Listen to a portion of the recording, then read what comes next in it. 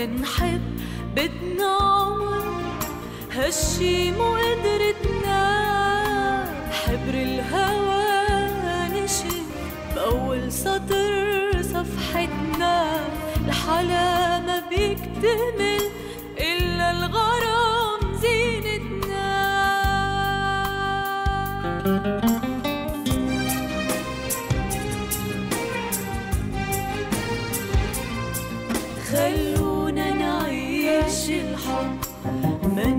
بسمتنا. حنان الأم يعم يغمر كنتنا. ما بدنا لحظة هم تعكر صفوتنا. الحب أحلى شي بنور دنيتنا. طويل طريق العشق وشو ضيقة خطوتنا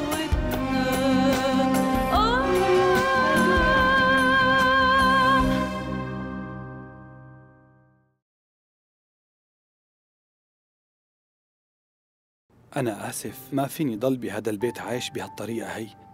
وطنش وأنا حاسس إنه ابني مو حابب وجودي وما بده يعني. يا ريت تحطي حالك محلي. رح يصير هيك بالبداية. وأكيد مع الوقت رح تتعودوا على بعضكم. يمكن بعدي عنه. هو سبب هالشي. والحق مو عليه. أنا تركته كل هالسنين هي. وما سألت عنه. لازم تطول بالك عمي. ليصير مثل ما بدك. يعني القصة بالنسبة لشري أكيد مو سهلة. وأنا برأيي أنت لازم تضل هون بين أهلك وعيلتك كم يوم وبتتعود؟ خليك عم تحاول. أنا آسفة عن جد تخطيت حدودي شوي وتدخلت بحياتك. بس عم حاول ساعدك وكمان بيهمني تضل معنا. ومع ابنك شري لأني حابة إنه شري يحس بحنانك. هو انحرم منه من سنين. وصدقني إذا بتحاول بتصير حياتكن أحسن.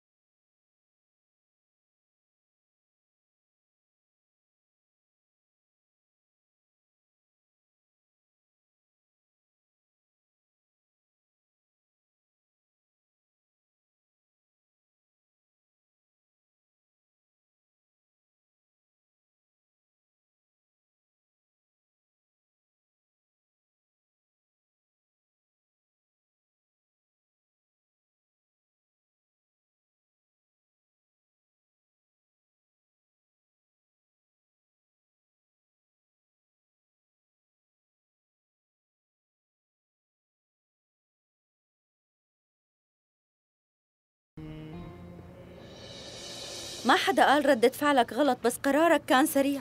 عطي فرصة لحالك وفكر أحسن ما تندم بعدين. بالله؟ بظن إنه هذا قراري ومو من حقكم تتدخلوا. وشو ما كان هذا القرار لازم تتقبلوه كلياتكم. لا تكون أناني شري. أنا ماني أناني جنفي. بس أنا مو حاسس بشي تجاهه. ما أنتوا أصلا سمحتوا له يرجع ويعيش هون بالبيت. وهذا رأيكم. أنا تدخلت بقراركم ولا قلت لكم ليش هيك تصرفتوا؟ خلص لكان. شري نحن بدنا إياه يكون معنا بس لأنه أبوك أنت. ليش هلأ صار بده يجي ويعيش معنا؟ فهميني. يا ترى وين كان كل هالسنين لما أنا كنت بحاجته؟ هلأ أتذكر إنه عنده ابن ومرة ولا لحتى اجى على باله؟ احكي. بدك ياني إنسى كل هالشي وسامحه وأغفر له؟ ويجي ويعيش معنا وكأنه ما صار شيء ابدا؟ هو بضل أبوك لو شو ما صار.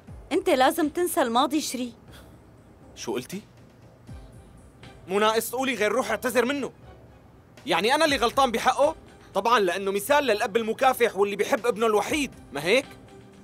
الكل حاطين الحق علي وعم يلوموني على قراري ونسيانين إنه أنا اللي عشت بدون أب كل هالسنين وما سأل عني ولا قال شو بدي. حنون والله. أنا ما عم أقول إنك غلطان بقرارك أبدا. اسمعني شري طول ما أنت متوتر مستحيل تعرف تفكر بطريقة صحيحة ورح تندم بعدين. الأب ما بيتعوض ولا بيتكرر. صدقني. ولا تنسى كمان أنه أمك بحاجة لرجال بحياتها. لا تحاول تبعده عنها. جنفي هذا اللي عم تقولي عنه أبي ما كان بده ياني بس هاد من زمان. وكل شي تغير هلأ. أنا مستحيل أنسى أنه هذا الشخص ما كان بده ياني جنفي أنت ممكن تسامحيه لو كنتي محلي؟ أنا ما بدي حدا بحياتي غير أمي وستي. هن تعبوا فيني. وبحياتهم ما أثروا علي بالوقت اللي هو كان بعيد وما عم يحس بأي شيء عم يصير مع ابنه ومرته بغيابه. لهيك مستحيل سامحه. فهمتي علي؟ بتمنى ما تكوني تضايقتي أو زعلتي مني وتحاولي توقفي معي.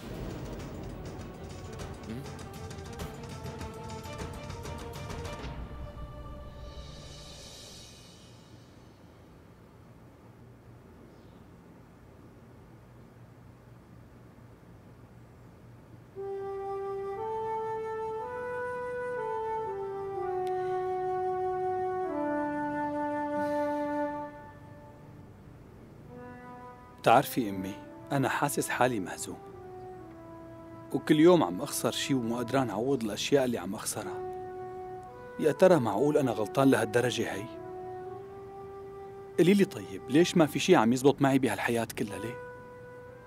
بظن إنه هذا من حظك السيء وأنت من ايمتى عندك قناعة بالحظ وهالقصص هي؟ من وقت ما صرت أخسر شغلات كتير بحياتي مع إني عملت جهدي لتضل موجودة بس للأسف كل شي راح. أنت كنت أناني. واخترت حياتك وبعدت عن ابنك ومرتك وما سألت عنهم بس عم تدفع الثمن وإذا بدك ترجع مثل الأول لازم تضحي. وتحاول تتدارك الخطأ اللي ارتكبته بحق عيلتك. وتحاول تعوض ابنك ومرتك عن كل شي خسروه. مع إنك رح تتعب كتير. بس بظن العيلة بتستحق أكتر. وأنا رح ساعدك كمان. أمي أصعب شي بالعالم إنه يكون ابنك مو متقبلك. وطبعا ما عم لومه أبدا. لأنه أنا اللي غلطت بحقه. كلياتنا غلطنا بحق بعضنا. بس أنت الوحيدة اللي مستحيل إنك تغلطي بحق حدا لأنه طول عمرك جامعة العيلة. وحتى ابني ومرتي عايشين مرتاحين هلأ. بفضلك أنت. وهن بيحبوك كتير. وأنا لو ضليت مئة سنة ما رح أقدم لهم اللي أنت قدمتي لهم إياه. أنا وضعي صعب كتير. بإمكانك تعوض كل شي راح وتبدأ من الأول. وما تفكر حالك متأخر لأنه لسه في وقت. حاول تخلي عيلتك تتعود عليك. وبتتوقعي أنجح بهذا الشيء المفروض. لا لا. شري مستحيل يتقبلني بحياته. أنت حاول وخلي الوقت هو اللي يحكم. الوقت كفيل بإنه يغيره ويقربكم من بعض أكثر أنت أب ولازم تحافظ على عيلتك. خليهم هلأ يتعودوا عليك وأنا متأكدة رح تنجح. لا ما بعتقد. صدقيني أنا متأكد إنه شري رح يكون مبسوط أكثر لما أروح من هون. شو قصدك؟ شو عم تحاول تقول؟ لازم أطلع من حياته لشري. لأنه إذا أنا ضليت هون كتير رح يتضايق. هيك أحسن. وما بدي حس إني السبب بتعاسة ابني بعد هالعمر هاد. عم تفهميني؟ وأنا من واجبي إني حقق له رغبته بهذا الشيء بعد إذنك طبعاً. إذا هي كانت رغبتك وهالشي بريحك فأنا ما فيني أمنعك وأجبرك تضل. أنا ما فيني ضل هون. مع أني طول عمري متمني هاللحظة تجي وعم استناها. يمكن مثل ما قلتي عم ادفع ثمن أنانيتي وغيابي الطويل. وهلأ فشلت إني أرجع وخلي عيلتي تتقبلني وتحبني. وبظن معكن حق كمان. أنا كنت غبي وما حسبت حساب إنه ابني ممكن ما يتقبلني أبداً. وفكرت إنه رح يكون إلي قيمة لما برجع على البيت بس للأسف كله طلع غلط. ركضت ورا أحلامي ونسيت عيلتي اللي هي أغلى شي عندي وأهم شي بحياتي. وعشت لحالي بهالدنيا الغريبة هي. شعور كتير بشع. ما عم قدر أوصفه. يا ريت الزمن يرجع لورا. كنت ما تركت البيت وعيلتي ورحت. تخيلي ابني بهالعمر.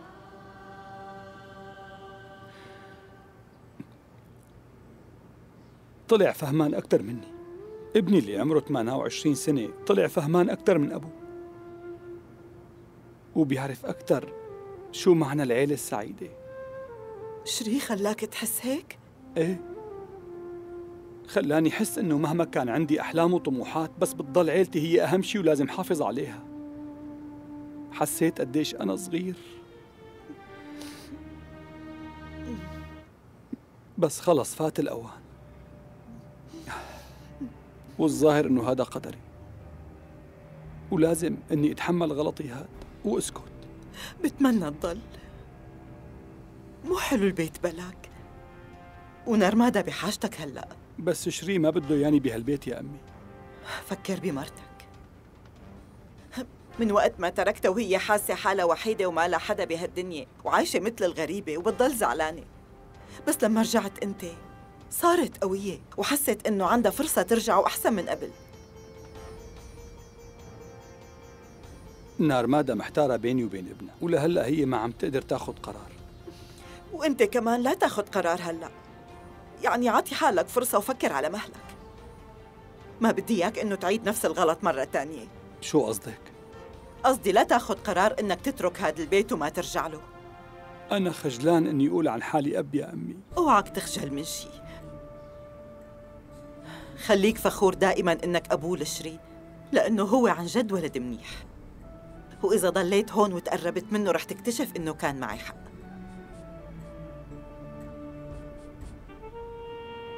أمي معقول تكوني سامحتيني من قلبك؟ شو أنت نسيان إنك ابني؟ وأنا أصلا ماني زعلانة منك. بس لا تروح وتتركني. خليك هون عايش معنا بالبيت. لأني ما عاد أقدر على بعدك.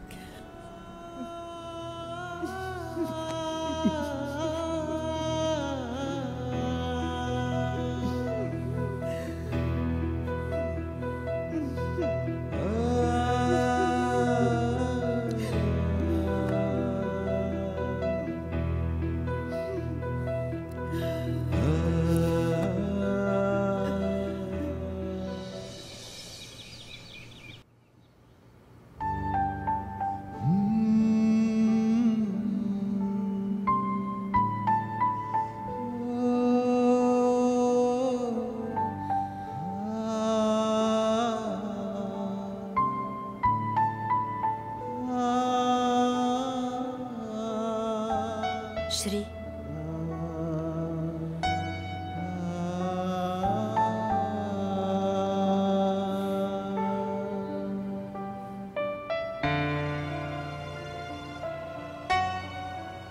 بكرهه من كل قلبي. وما عم بقدر سامحه بنوب وما عم حس تجاهه بأي شعور يحسسني إنه هذا أبي. خليه يروح بحال سبيله ويتركنا بحالنا. شري. لو سمحتي لا تتدخلي أنت. أنا ما بدي إياه. طالما قدر يعيش بدوننا كل هالفترة خليه يرجع هلأ ويعيش لحاله. ويتركنا بقى نعيش مثل ما كنا قبل. أنا مستغرب شو اللي غيره وخلاه يتخذ قرار ويرجع ليعيش معنا بعد كل هالمدة هي. نحن مو بحاجة إله ولا بدنا إياه حتى. ما بيصير تحكي هيك عن أبوك مستحيل واحد مثل هاد يكون أبي. أنا بالنسبة إلي هو ميت من زمان. وعشت كل هالسنين لحالي أنا وأمي وهو بعيد عنا فما رح تفرق معي. هي الحركات اللي عم يساويها ما رح تخليني أحبه لأنه تأخر كتير.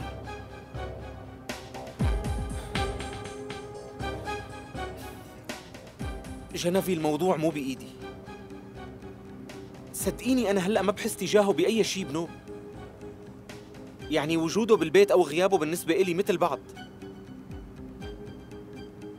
يمكن أنا كنت أشتاق له وأتمنى أشوفه وأسأل عنه. وأقول يا ترى ليش هو تركنا؟ بس ما لقيت جواب. شو بيخلي أب يترك عيلته ويطلع من البيت؟ أنا ما عم أفهم. ومن شان هيك مستحيل إني سامحه أبدا. ولازم يتركنا.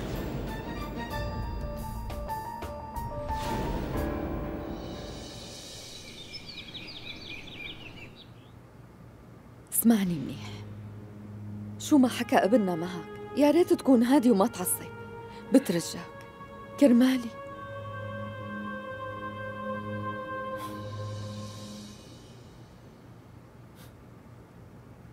حلو والله.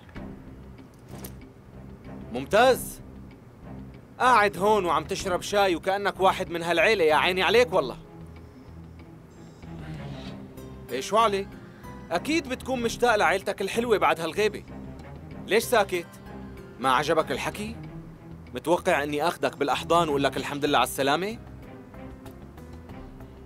اسمع أنا من الآخر ما بدي إياك تعيش هون ما في داعي تحكي بهالطريقة ممكن تحكي مع أبوك بلطف أكثر حتى لو كنت ما بدك إياني بهذا البيت خليني دائما أخذ عنك فكرة حلوة عن جد؟ طيب قل لي كيف بتحب عاملك وبأي طريقة بدك أحكي؟ ولا أسكت أحسن؟ لا. أنت عم تقول إنه أسلوبي بالحكي مو عاجبك. بغض النظر عن أسلوبي أنا ما بدي إياك تعيش هون. شري لا تحكي هيك مع أبوك. أنا عم أحكي بصراحة وماني مضطر إني جامل حدا أبدا. لازم يعرف إني مو حابب يضل معنا. ومثل ما كان عايش بلانا في هلأ يرجع ويتركنا اهدي حماد شو قصدك بهالحكي؟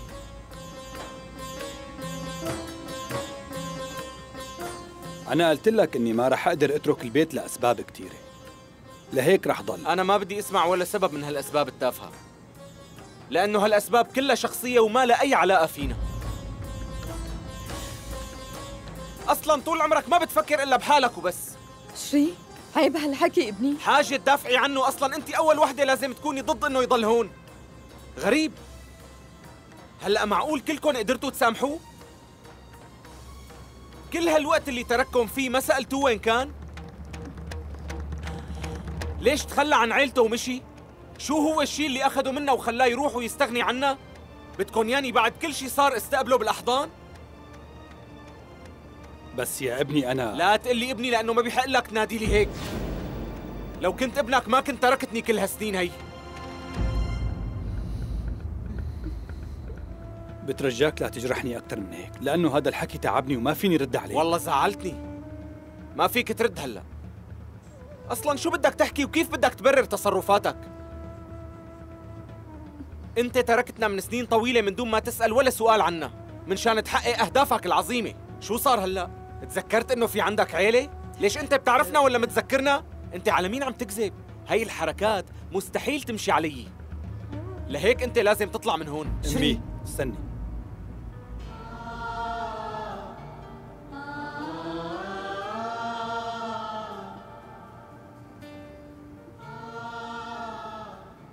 أنا ما كنت مخطط أبداً إني أرجع على البيت. أنا أجيت بشكل مفاجئ. صدقني. إيه بس انت وأنت معك حق بكل شي حكيته واتهمتني فيه هلأ. بس لا تقول عني عم أكذب لأنه أنا ما كذبت. رجاء. بحياتي ما نسيتكن أصلا. وقت رجعت حسيت رجعت لي حياتي بغض النظر إذا كنت تأخرت بهالرجعة ولا لا. بس أنا ما فيني أترككم. وأنتوا هلأ لازم تساعدوني. أنا بحاجة لهذا الحنان وهي الثقة والأمان لحتى بلش حياتي من جديد معكم.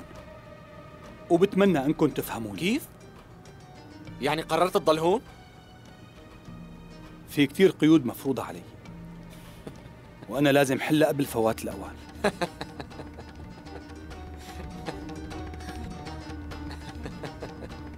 حلو كتير. عن جد لا بقلك كتير دور المسكين والمعتر. دخلك فيني أعرف شو هالقيود؟ شري أنا بعرفك واعي وبتقدر ظروف غيرك شو ما كانت. وبظن هاد أبوك ومن حقه عليك إنك تفهمه. مستحيل اتقبل يعيش معي بنفس البيت وما بدي أي نقاش بهذا الموضوع. بس هو قال إنه مستعد ينسى الماضي. ليش ما بدك تعطيه فرصة تانية؟ لنفرض إنه مثل ما عم تحكي مستعد ينسى الماضي. شو الضمانة إنه ما يتركنا مرة تانية؟ هو تركنا من زمان وراح وهلأ ممكن يعملها. وهالمرة رح تكون أصعب لأنه وعدكم يضل وما رح يوفي بوعده. أنا مستحيل أترككن هلأ. بس أنا ماني متأكد. هلأ هو ما رح يتركنا وبده يبقى عايش معنا. لازم نساعده مو نوقف بوشه. أنت واثقة إنه هو رح يضل هون مثل ما عم تحكي؟ يمكن أول فرصة بتصير له رح يترك البيت ويمشي. يعني ما تعودتي عليه؟ شري إذا الحياة كانت ضده ما رح كون أنا والحياة عليه. إذا أنا أمه ما فهمته مين بده يفهمه؟ خليك واعي وعم تعالج الأمور بإدراك أكثر وإياك تتسرع. ماشي. خلينا نسمع رأي كل واحد فيكم منشان ما حدا يأثر على الثاني وكل واحد يقول رأيه بصراحة. شو رأيكم بالشخص اللي تركني وترك أمي ونحن بأمس الحاجة إله وراح سافر وهلأ حضرته بكل بساطة عم يدور على مكانه كأب بيناتنا ولا كأنه راح وغاب عنا أنا عم أسأل سؤال بسيط ويا ريت تجاوبوني عليه إذا سكتوا رح أفهم إنكم ضده شو؟ ما حدا بده يحكي؟ ليش سكتوا؟ شبكون؟ يلا أمي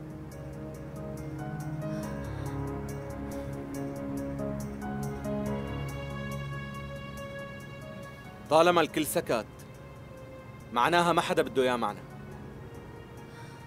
شفت بعينك؟ الكل هلا خجلانين يحكوا معك بس رأيهم واضح لأنهم ضلوا ساكتين. يعني كلهم بدهم إياك تترك البيت. شري يا ريت ما تتسرع وتستنى شوي. ها؟ قصدي أعطيهم شوية وقت لحتى يقولوا رأيهم. سكوتهم ما بيعني إنه ما بدهم. ماشي. رح بلش أنا بالأول أحكي. أنا بدي ابني يرجع يعيش معي بالبيت. أنا أمه بالنهاية. كيف فيني أجي ضده؟ إذا ابني ندمان على ماضيه فأنا من واجبي إني سامحه وأغفر له وأعطيه فرصة تانية.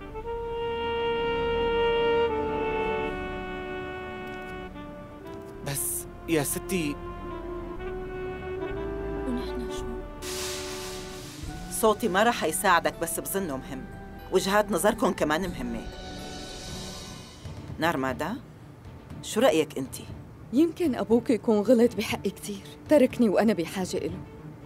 سافر وأنا حامل فيك. بس هلأ رجع على بيته.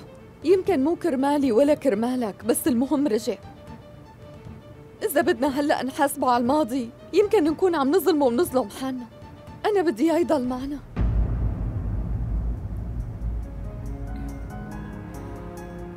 المهم ما يرجع يعيش بعيد عنا.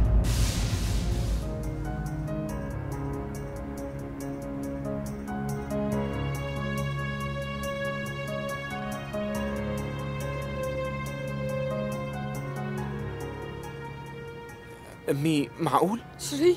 نارمادا نحكي بالأمور التانية بعدين. لاكسميكانت شو رأيك أنت؟ أنا أكيد رح أوافق إنه جاي يرجع يعيش هون بالبيت. أنا سببت لكم جرح أكبر من اللي سببه هو. مع هيك قدرتوا تسامحوني كلكم. نحن هلأ أكيد لازم نعطيه فرصة تانية طبعا هي وجهة نظر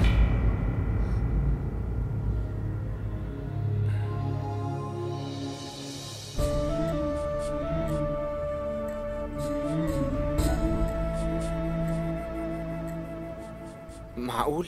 حتى أنت بصفه؟ قبل ما يكون أبوك هو واحد من العيلة وهذا بيته فكر بالموضوع وبتعرف إنه معي حق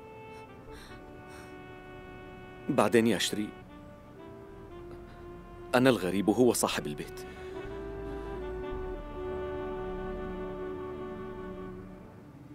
كثيري؟ شري لازم تسامح أخي وتعطيه فرصة تانية. لا تكون أناني بتفكيرك وتخلي أمك تتعب مرة تانية. خلينا نرجع عائلة وحدة وأنت كمان. بعد فترة رح تشوف الفرق ورح تحس إنه البيت صار أحلى بوجود أخي.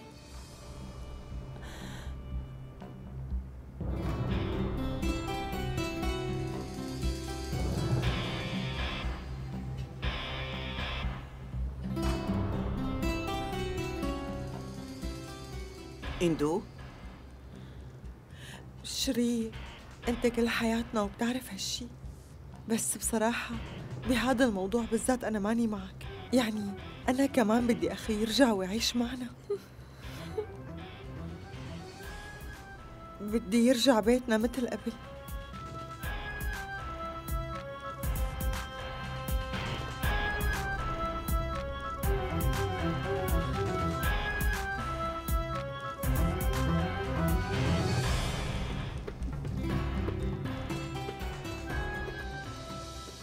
شريو؟ شري من لما رجع زوجي وأنا مرتاحة. وبدي نرمادة تعيش نفس شعوري. وجود أبوك بحياتها مهم كتير. وإذا أنت كمان شفت الموضوع من وجهة نظرنا رح توافق أكيد.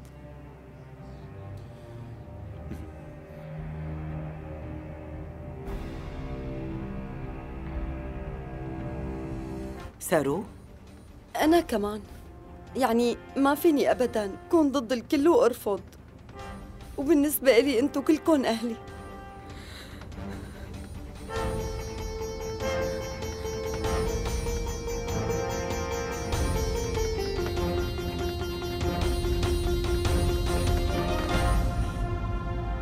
شري. بقيان صوت واحد.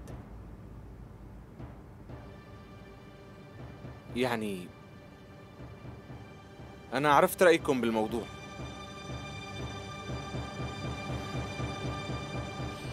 وهلأ دور جنفي. يا ريت تقولي رأيك بكل صراحة. ولا تحكي شيء أنت مو حاسستيه أبداً.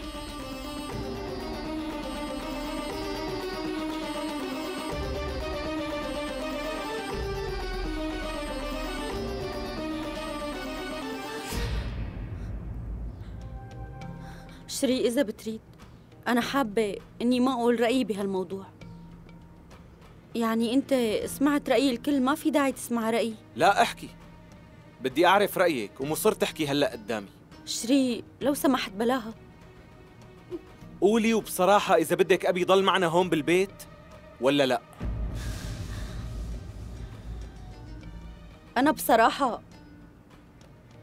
رأيي من رأي الأغلبية بس ما بدي تزعل. هذا رأيي ومو أكتر. بلا هالمقدمات هلأ؟ احكي شو هو قرارك؟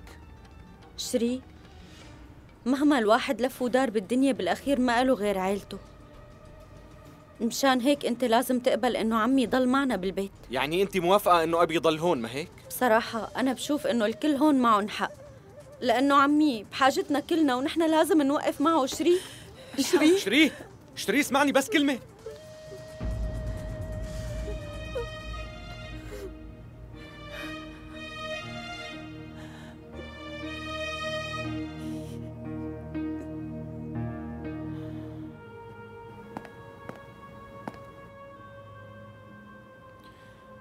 شري ممكن أعرف ليش بدك تلغي كل الاجتماعات اليوم؟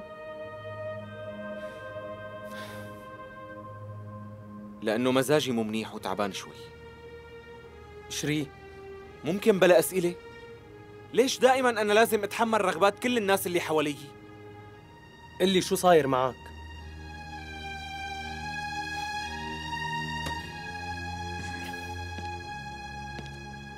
صعب بعد هالعمر تلاقي حالك بين خيارين ليش؟ ليش رجع هلأ؟ شو بده مني بعد ما صرت كبير؟ فهمني أنا لهلأ مو فهمان شي قلي شو صاير معك؟ أحسن ما تعصب وتنرفز على الفاضي يمكن ساعدك ولو شوي ساعدني؟ شو شايفني ولد صغير بده مساعدة ولا شو مانيش؟ بدك تعرف القصة؟ اللي اسمه آرجي بتتذكره ما هيك؟ تخيل إنه هو طلع أبي الحقيقي هالشي ما بجنن؟ آه عن جد؟ والله أنت انصدمت مو هيك؟ لكن تخيل أنا حالتي كيف طيب قل لي عيلتك شو كان رأيها؟ الكل بالبيت رحبوا فيه والكل مبسوطين ونسيوا إنه تركهم كل هالسنين أنت متخيل موقفي؟ هلأ بدهم اياه يعيش معنا بنفس البيت مانيش أنا رح طق لك بتصدق حتى مرتي جنفي كان رأيها من رأي الكل ووافقت إنه يبقى معنا بس دقيقة يعني هو بده يعيش معكم؟ هو حابب يضل عايش معنا بنفس البيت بس أنا مستحيل وافق على هالشي حتى لو وافقوا. يعني مانيش لو سمحت حط حالك محلي وقل لي شو أتصرف. كل أهلك ضدك وأنت لحالك رافض وما حدا عم يسمع شو بدك. مرتي أقرب الناس إلي كمان ضدي. بتصدق هالشي مانيش شري جنفي بطبيعتها عاطفية شوي. لو سمحت لا تدافع عن جنفي لأنه أنا كتير مقهور منها. بغض النظر إذا كانت عاطفية ولا لا بس لازم توقف معي حتى لو كنت أنا غلطان. بتضل مرتي.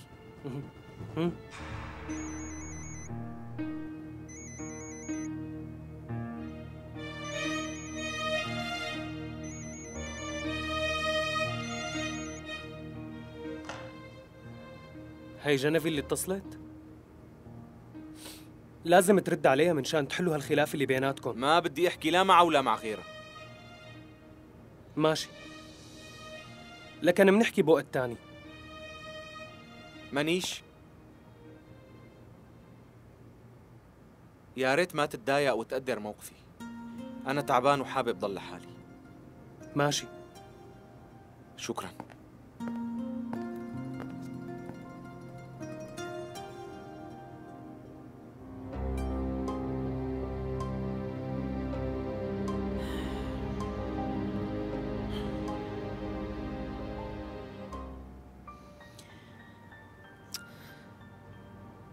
خارج التغطية موبايله يا ربي وين بده يكون راح؟ اطمني بيكون راح على الشغل بس أكيد ما في تغطية. هي أول مرة بشوفه معصب بالعادة ما بيتصرف هيك. ابني ولد كتير واعي نارمادا ما بعرف ليش عم تجيني أفكار سيئة. يعني بركي عمل بحاله شي. شري واعي ومستحيل يعمل شي. بس هو معصب. وأكيد بس يهدى رح يرجع لهون شو الفايدة من هالحكي هلأ؟ شو قصدك؟ قصدي مو أنا السبب؟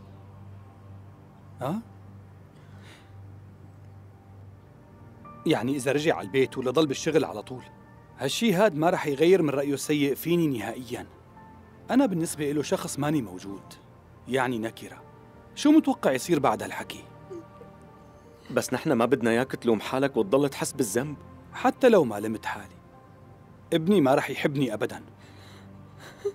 أنت غلطان. أي شيء مع الوقت رح يتغير. وما فيك تتأكد من شيء طالما هو بيخضع للزمن وبيتغير. هي أنا. كنت سيء كتير بحق هالعيلة. وقلت مستحيل إنه يتصلح شيء بيني وبينهم وما رح يسامحوني. بس بعدين سامحوني وليكني عايش معهم. أنا كمان حكيت هيك. كلنا ممكن نغلط. ولازم نسامح الناس ليسامحونا. شري بعده صغير على هالتجربة بس أكيد رح يسامحك متأكدة. أمي أنت أكيد ما كنتي رح تسامحيني ولا تستقبليني ما هيك؟ بس بعد ما شفتيني عرفتي قديش أنا حابب كون معكم مع أني بعرف أني غلطت بحقكم كتير. بس صدقيني ندمت. وما في أي شيء بيخليني أعيش مرتاح غير لما ابني يسامحني. روق ولا تستعجل. يمكن القصة تطول كم يوم بس بالنهاية شري رح يسامحك ويتقرب منك أكيد. يمكن هو هلأ عم يحاسبك على غيابك لأنه كان بحاجتك. بس صدقني يا ابني أنت عطيه شوية وقت وكل شي رح يكون منيح ومثل ما بدك. يا ريت يا أمي كلامك يكون صحيح ويصير ابني يتقبلني. هذا أكتر شي بتمناه ما في شي مستحيل. لأنه الرابط اللي بينك وبين شري ابنك أقوى من كل شي. حتى البعد ما رح يفرق بيناتكن لأنه شري ابنك والدم بحياته ما بصير مي. لهيك لا تيأس.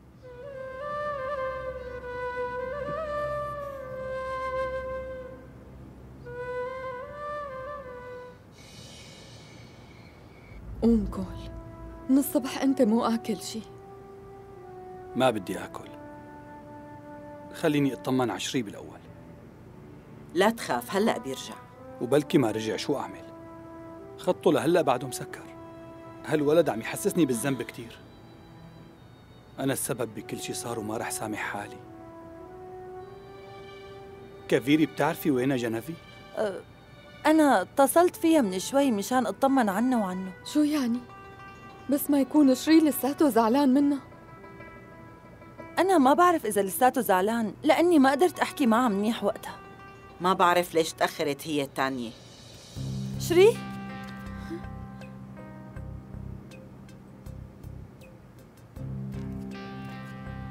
ليش موبايلك كان خارج التغطية؟ فيك تروح وترتاح لبين ما حضر لك العشاء. ما بدي آكل. بس ما بيصير. قلت لك لا. هذا الشيء فيني قرره لحالي. كمان هاد بدكم تتدخلوا فيه وتقولوا لي إمتى آكل وإمتى لا. خليني على القليل أحس إنه في إلي رأي.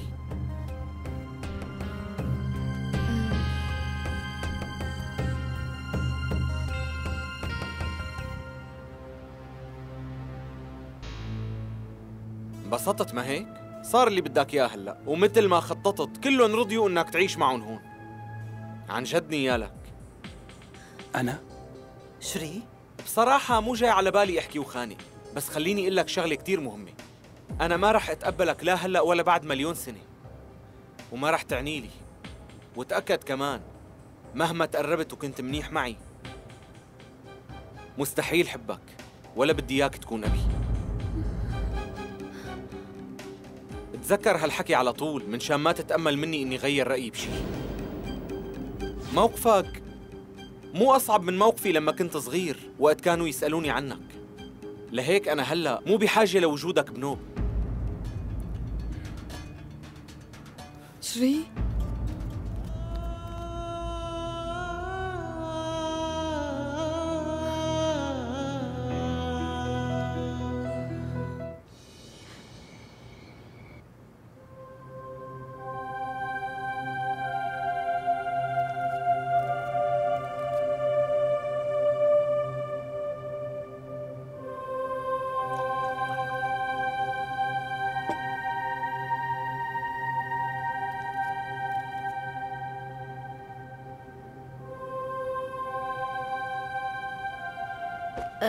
ليك شري حكيت مع أهلي امبارح وقلت لهم إنه عم ندور على بيت.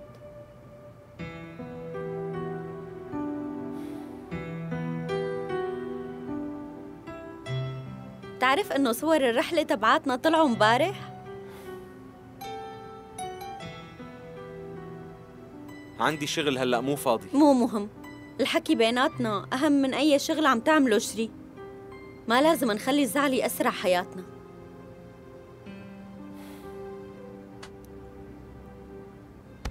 ماشي. ممكن تقولي لي شو بدك مني؟ شري إذا بتريد حياتي لا تضل زعلان. لأنك مو حلو وأنت زعلان أبداً. ما أنت اللي خليتيني أزعل منك يا جنفي. يمكن تكوني تعاطفتي مع أبي وعيلتي بس كنتي ما لازم تجي ضدي قدامهم وتخليهم يشمتوا. ليك شري أنا ما كان قصدي أبداً إني إجي ضدك بهالقصة. بس أنت وقفتي مع الكل وهذا الشيء بيعني إنك تركتي جوزك ووقفتي ضده وما همك زعله.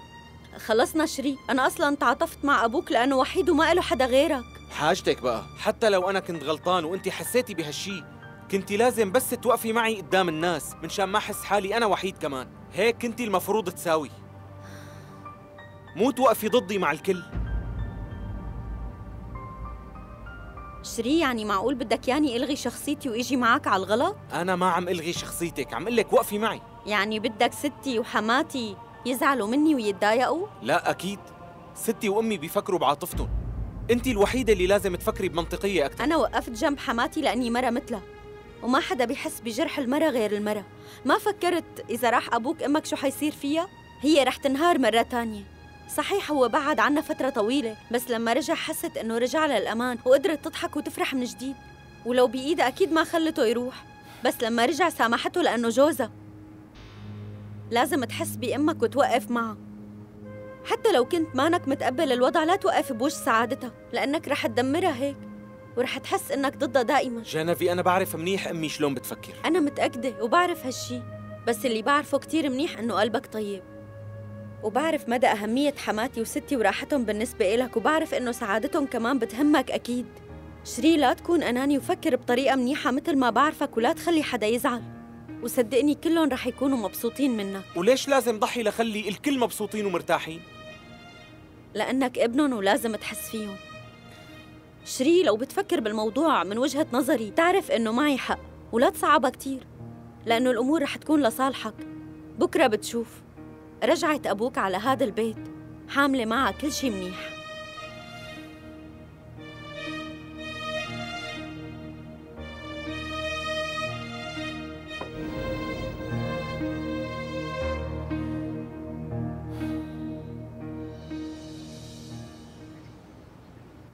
وشو هلا رح يمشي حاله ولا لا؟ إيه؟ هي مروحة المحرك اللي موجودة جوا. على الآن فيها وسخة أمتى ومش الحال. شغلتها بسيطة.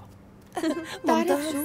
أخذناه لعند اثنين مصلحين من قبل وطلبوا منا نكبه ونجيب غيره. إيه؟ إيه لا ما في داعي تغيروه لأنه لساته جديد. إيه والله ما كان في مشكلة غير الضجة وهلأ ما عاد في شي ابنه. مزبوط. تاريك شاطر بهالقصص. إيه كفيري؟ تعي بسرعة. يلا؟ يلا يلا يلا. وقفي هون ليش؟ هون. بس بس بس شو؟ بس قعدي هون. وهي قعدت. ساوي لي مساج لرجلي. عفوا. أنا ساوي لك مساج معقول؟ أنت أكيد عم تمزح مو؟ قولي الميكروويف كان عم يشتغل ولا لا؟ لا.